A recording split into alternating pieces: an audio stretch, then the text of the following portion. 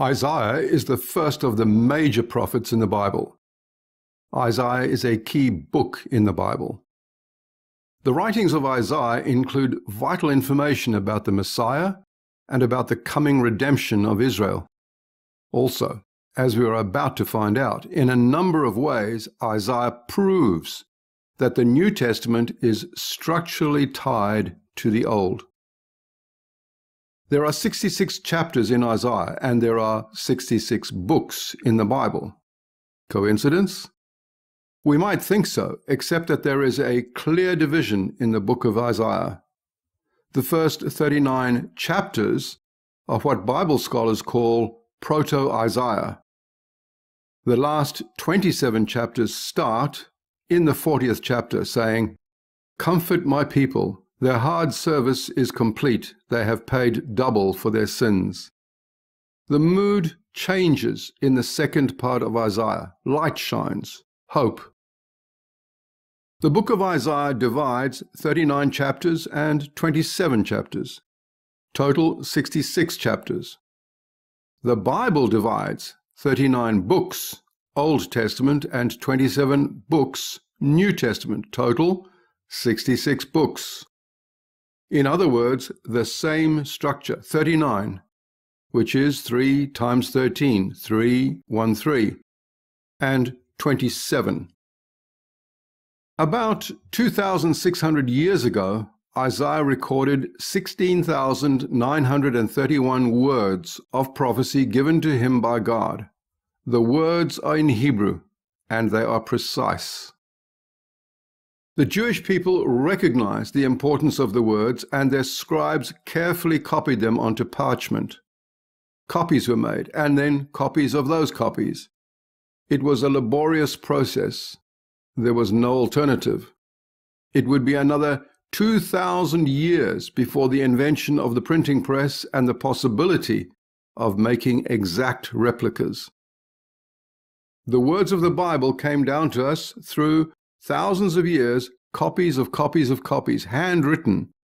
The originals lost, damaged over time, replaced, until the time of industrial printing. How could anyone be sure that what we received is authentic, faithful to the original? The oldest handwritten copies that we had dated back about a thousand years. Who knows? Maybe they were riddled with errors. The copies were made by men, and men make mistakes. And then, about 70 years ago, a hoard of ancient copies, mostly fragments, was discovered hidden in caves around Qumran on the edge of the Dead Sea. Among them is what is known as the Great Scroll of Isaiah. This great scroll of Isaiah is on display in a special area of the Israel Museum in Jerusalem. Actually, what is on display is a facsimile, a copy. The original is considered so valuable that it is stored somewhere secret and secure. The Great Isaiah Scroll is the most substantially complete document of all those found in caves at the Dead Sea. The scroll can be positively dated to at least 100 years before Jesus. So it is, by a very large margin, the oldest known handwritten book of the Bible. And the Isaiah scroll confirms the original Hebrew writing. It's a treasure. For many Jews and for guardians of the modern state of Israel, it represents their most vital national treasure. In effect, it's their title deed to the promised land. In effect, it's their guarantee. God has promised them salvation in the land of Israel. They have a document to prove it. But here is what we believe will one day become an even greater treasure in the hearts of all Jewish people. There is a mathematical structure underlying the original text of the Bible, and the mathematical structure identifies and verifies the original text of the Bible. Every book, every chapter, every verse, and every word, and the order they are meant to be in. The mathematical structure ties the original Greek text of the New Testament to the Hebrew text, producing a complete Bible of 66 books, each one of those 66 books written by a Jew. And the mathematical structure ties the opening verse of the Bible to the promise in Isaiah of the establishment of the modern state of Israel and the coming of their Redeemer. With the New Testament witness of Jesus, the Jewish Messiah, and a complete and trustworthy and verified Bible text, the remnant of Israel will come to have bold assurance of their eternal future in God. Assurance based on promises in that Bible and not reliant on performances conducted by a priestly class of paid professionals and not reliant on opinion and tradition, but established on the truth of the Word of God. God will complete what He began. God will make two into one, Jew and Gentile, joined by faith in Jesus the Messiah, to live forever in a world to come. Now to the hidden code in Genesis 1, verse 1. When we say code, we refer to numeric patterns revealed in the text. When we say those were hidden, we refer to the fact that numbers, as we know them, did not exist way back when the Bible was first written. That's hard for us to get our minds around. Numerals, figures for numbers like 1, 2, 3, 4, etc., are so much a part of our lives and the way we communicate and record that it is hard to imagine life without them. But in Bible days, numbers had not been invented. Numbers were developed in India thousands of years after Moses and hundreds of years after Jesus, long after the canon of Scripture had been settled.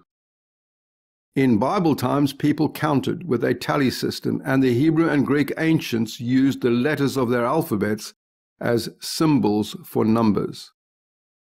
What we are going to see would have been impossible for the writers to have envisioned. But God directed the minds of those who wrote, and God knew what we may now see. We can now apply a number to each letter of the biblical languages. Every letter of the Old Testament Hebrew and every letter of the New Testament Greek has a numeric value. With that in mind, let us look at the first verse of the Bible. In the beginning, God created the heavens and the earth. In Hebrew, Bereshit bara Elohim et hashamayim ve'et haaretz. A simple calculation gives us a value for each word. The value of these two words is 999. The value of these three words is 999. The value of these three words is 888, and the value of these three words is 777. That's remarkable. 777, 888, and 999 twice. That could not have occurred by chance. That is supernatural. This same code is found in the last chapter of the book of Isaiah. It's a prophecy of the reformation of the state of Israel. Before she travailed, she brought forth. Before her pain came, she gave birth to a male. Who has heard such a thing? Who has seen such things? Can a land be born in one day? Can a nation be brought forth all at once? As soon as she travailed, Zion also brought forth her sons. Shall I bring to the point of birth and not give delivery, says the Lord? Or shall I, who gives delivery, restrain, said your God? On the screen are the words of these three verses in Hebrew. Hebrew is read from right to left. Apply the numeric value of each letter, and we come up with a value for each word. Note, the first four words of verse 7 have a value of 251 plus 448 plus 49 plus 251, total 999. 999. The next verse, verse 8. The words have a value of 50 plus 410 plus 428, a total of 888. 888. We don't find the pattern in the first words of verse 9, but if we take the first words of each of the three verses, we get 251 plus 50 plus 410 plus 66, a total of 777, 777. And there is a second occurrence of 999 starting with this word. 26 plus 41 plus 61 plus 95 plus 776 equals 999, 999. 777, 888, and 999 twice. The same numeric pattern, the code that is in Genesis 1, verse 1. That must be deliberate. It could not have been arranged in the natural mind of Isaiah. The Lord was directing his writing, and the Lord is drawing our attention to the link between the creation account and his eternal purposes for the Jewish people. Think about the prophecy. Verse 7 says, Before her labor pains, before the agony of the rebirth of the state of Israel, birthed in war, by the way. Note the emphasis, baterem, meaning before, in the Hebrew words that produce a total of 999. Baterem tachil yalda baterem. The first word is baterem, and the fourth word is baterem. Before, before. The phrase and its numeric structure places a strong emphasis on the fact that this individual predates the birth of the nation state of Israel before her labor pains, before the nation is born again, she gave birth to a male, someone special, the Messiah. Who else? Jesus has come. Jews need to know this, and Jesus will come again. Verse 8 then describes the remarkable establishment of the State of Israel in 1948 after nearly 2,000 years of separation and scattering. Verse 9 is a promise the Lord will have sons, a family redeemed and reconciled with Him. And it is sealed with God's fingerprint of design in the original Hebrew text in the last chapter of the book of Isaiah. You may have seen the feature of 777, 888, and 999 reported before. Seven years ago, we did a video entitled Hidden Code in Genesis 1 1. The video was viewed more than 2 million times. What we didn't cover in that video, but did cover in later videos, is how the numbers point to Jesus. And what we didn't cover in that video, but will cover now, is that the code of 777888 and 999 is only the first layer of what is in the first verse of the Bible. We get the name of Jesus in English and the way we say his name out of the original Greek of the New Testament, Iesus. The numeric value of Iesus in Greek is 888, 888.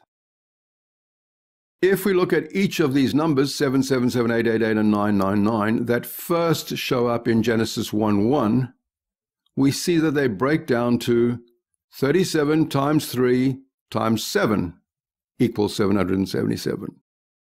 37 times 3 times 8 equals 888. 37 times 3 times 9 equals 999.